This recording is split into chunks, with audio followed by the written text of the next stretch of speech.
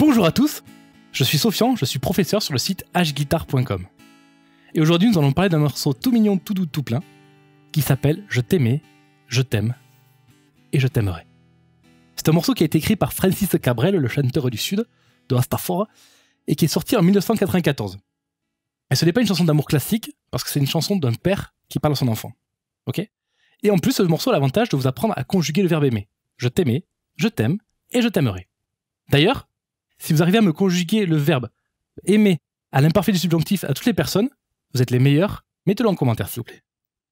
Pour commencer, on va voir le Ré majeur, parce que le morceau commence par un Ré majeur. Le Ré majeur, je vous montre comment le jouer. On va poser l'index case 2, corde 4, le, le majeur case 2, corde 6, et l'annulaire case 3, corde 5, et on va jouer les 4 cordes du bas.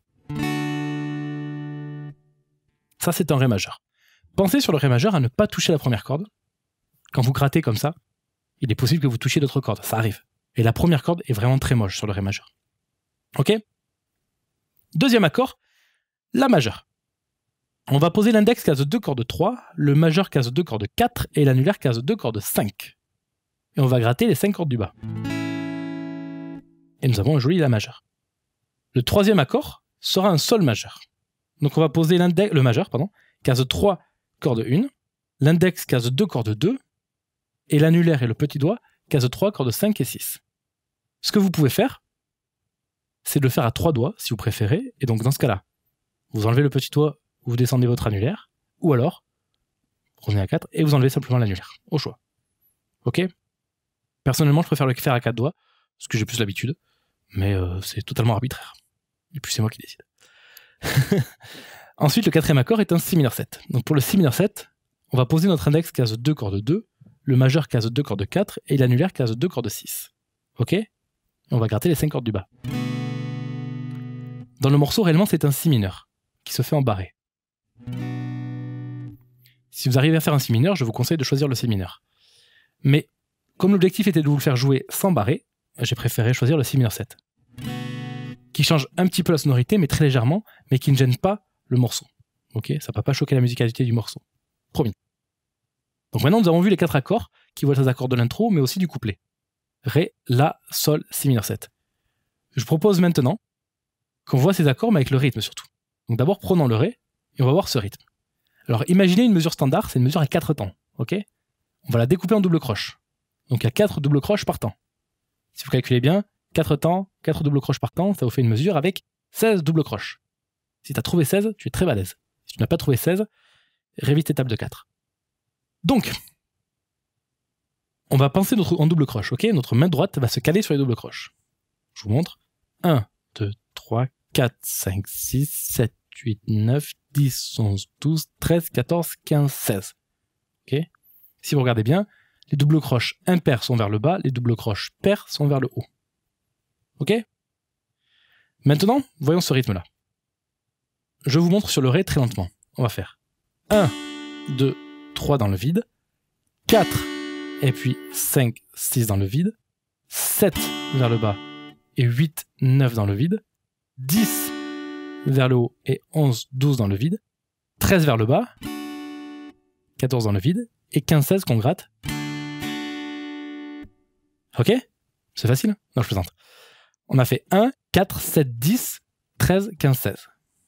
Alors dit comme ça, c'est pas évident. Alors je vous propose de regarder ma main droite et on va le faire en étouffant les, cordes. Ok? Je vous montre ce que ça donne. 1.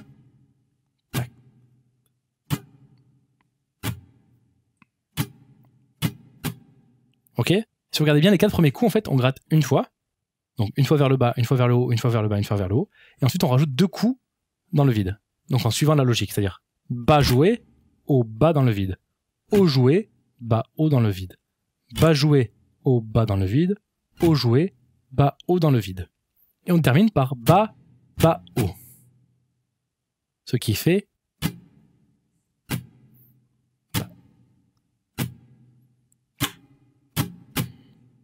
Ok Je vous propose d'essayer ensemble, en boucle, sur le Ré majeur. On prend le Ré majeur, et on va répéter le rythme en boucle, on va le répéter. Ok Je vais compter les croches et on va partir. 3, 4,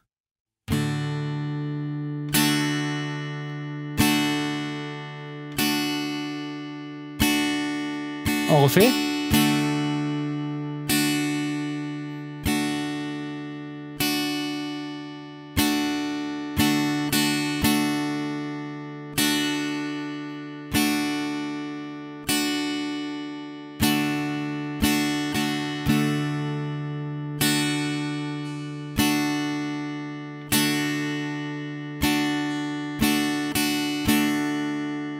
Ok Avant d'aller plus loin, si vous bloquez cette partie-là, prenez le métronome et répétez le rythme. Tranquillement, vous le répétez, comme ça, comme j'ai fait. Vous pouvez même le mettre le métronome qui vous donne des croches. Enfin, vous imaginez qu'il vous donne des croches. Ça peut aider au début, notamment, quand on joue les doubles croches. Ok? Vous allez tranquillement et vous le répétez.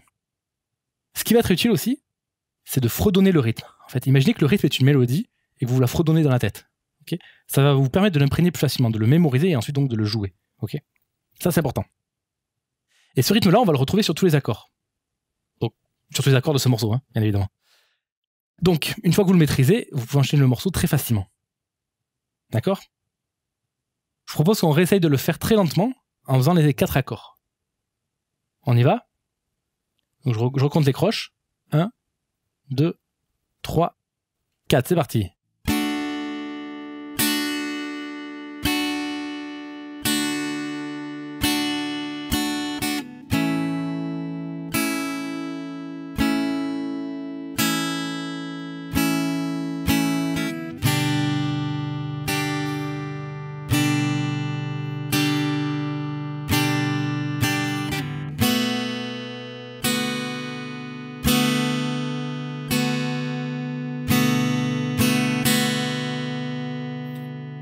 Si vous avez réussi à faire ça, vous arriverez à faire le couplet, parce qu'en fait, ce sont ces accords, mais en plus, au lieu de faire une fois le rythme, on les fait deux fois sur chaque accord. Ce qui fait qu'on a le temps de se reposer. Alors, je vous propose, si vous avez réussi jusque-là, d'essayer sur le, le métronome, ensemble, tranquillement. C'est parti?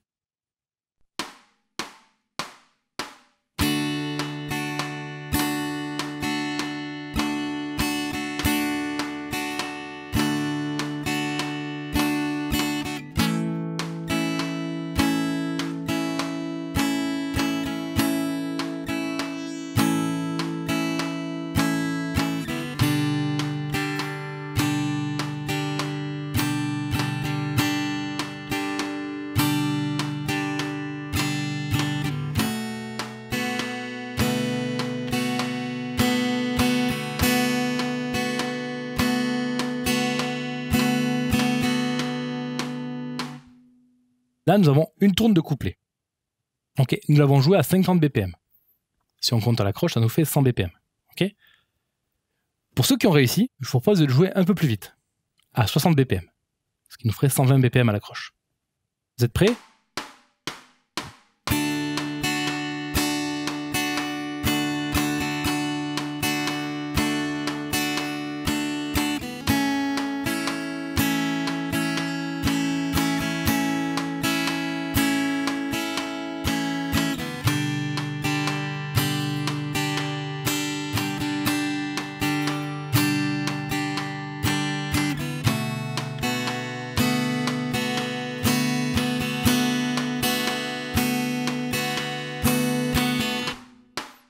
Et donc là, nous avons notre couplet.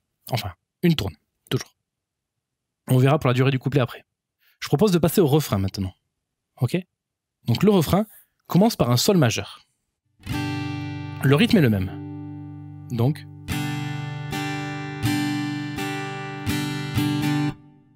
Ok Ensuite, on enchaîne un mi mineur.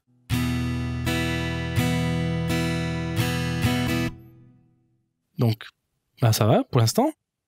Vous souvenez, le mi mineur, c'est index case 2, corde 2, et majeur case 2, corde 3. Vous pouvez le faire avec majeur annulaire si vous souhaitez. Je vous conseille quand même index et majeur, ça me semble plus simple. Et ensuite, on enchaîne avec le La majeur.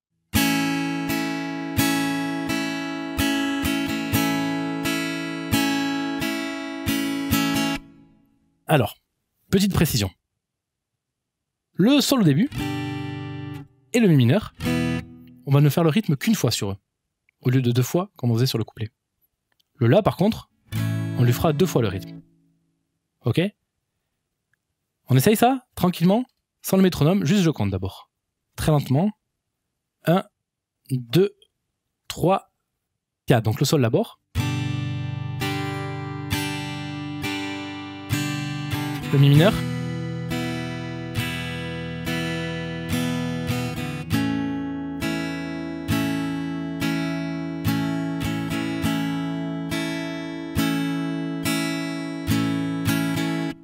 Ok Ça, c'est la première partie du couplet, du refrain, du refrain, que l'on fera deux fois.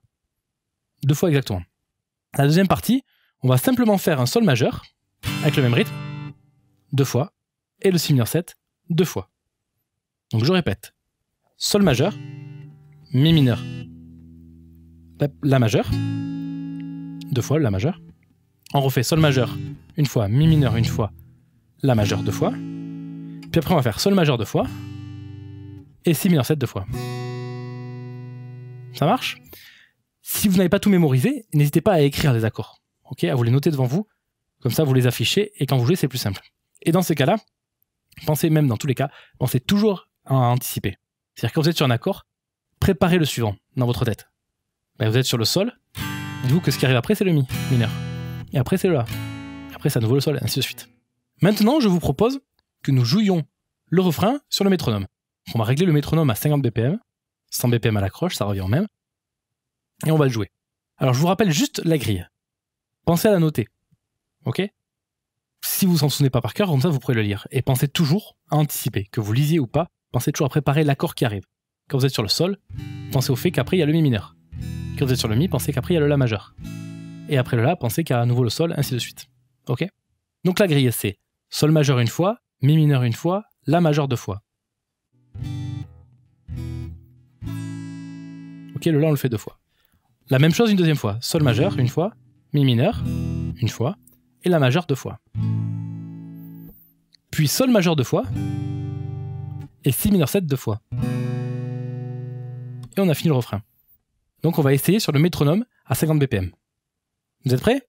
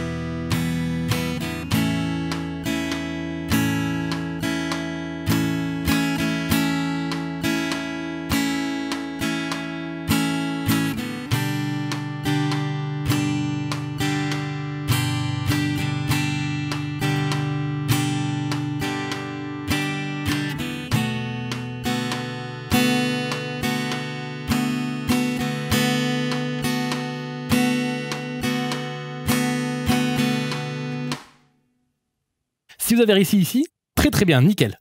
Si vous n'avez pas réussi, ce n'est pas grave, pensez toujours à travailler plus lentement et au métronome. Ok? Comme on vient de faire, mais mettez-le par exemple à 90 à l'accroche ou 80 à l'accroche, ça vous aidera. Ok? Ce n'est pas grave si vous n'y arrivez pas, ça arrive souvent. Il faut retravailler tranquillement, lentement, travailler l'enchaînement d'accords, travailler le rythme indépendamment, et ça va venir. Ok? Vous inquiétez pas, ça prend parfois plusieurs heures, parfois plusieurs jours, des fois un peu plus. C'est pas, grave, c'est normal. Ok? Pour ceux qui ont réussi, je vous, propose, maintenant de refaire sur le métronome, mais un peu plus vite, à 120 à l'accroche, donc 60 à la noire, de refaire ce refrain. C'est parti?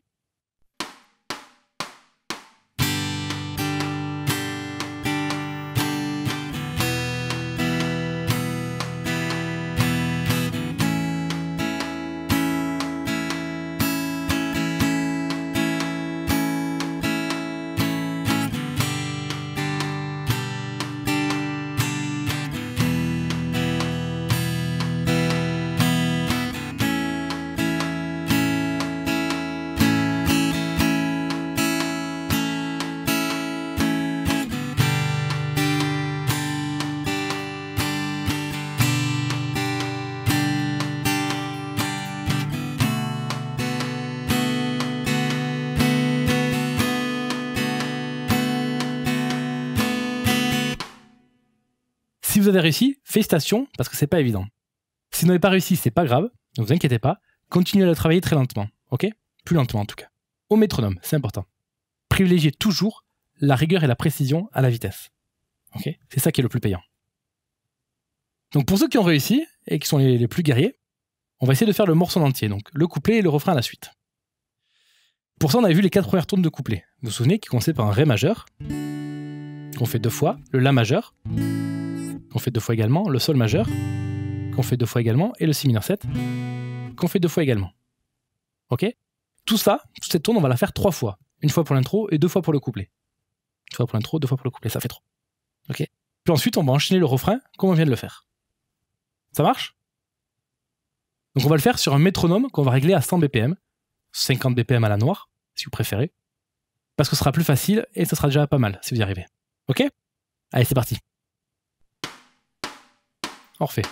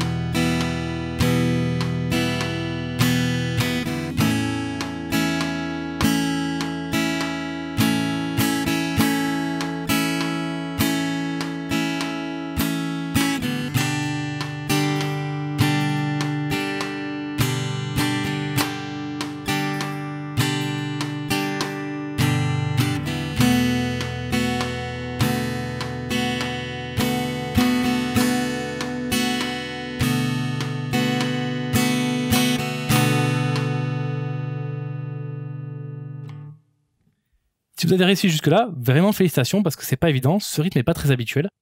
Enfin, pas très évident pour les débutants. C'est un rythme qu'on va retrouver dans d'autres morceaux qui est souvent assez énergique. Des, morceaux qui s'inspirent un peu du funk, ce qui n'est pas le cas de celui-là pourtant. Mais on retrouve ce rythme-là. Donc si vous avez réussi, vraiment félicitations. Si vous n'avez pas réussi, ne vous inquiétez pas, tout va bien. C'est tout à fait normal. Travaillez le rythme lentement. Ok? Au métronome, toujours. Ok? Comme je vous ai dit, si à la noire c'est trop compliqué pour vous repérer, mettez-le à l'accroche. Ok? Pensez à l'accroche. C'est plus simple. Donc mettez-le par exemple à 80 à l'accroche ou 90 à l'accroche. Vous verrez qu'en répétant, ça va passer. Il n'y a pas de raison. En tout cas, j'espère que ça vous a plu et j'espère vous voir très bientôt.